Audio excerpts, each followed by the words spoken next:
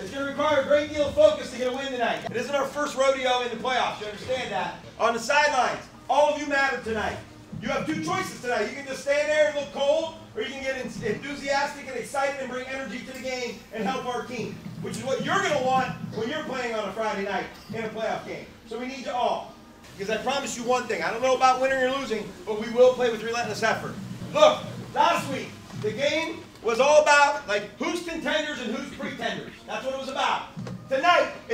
Last home game. It's the seniors' last home game.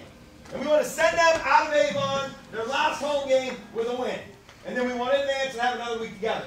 Each week things get more and more special around here, you understand? But right now, you've got a great football team who's going to come out and you're going to be faced with adversity.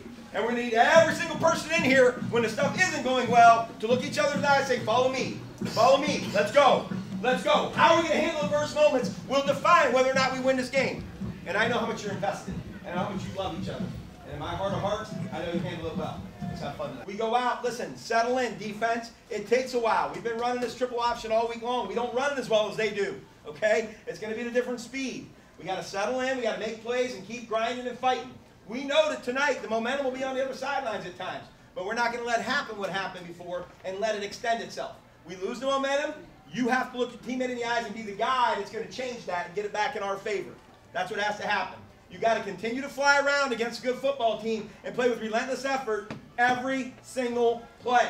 Communication's key tonight with a large crowd, a lot of noise, communication on defense and on offense. We're going to be aggressive tonight on offense. We're going to be aggressive on defense. We're going to get after their butts for four quarters. I love you guys. Can't wait to watch you play.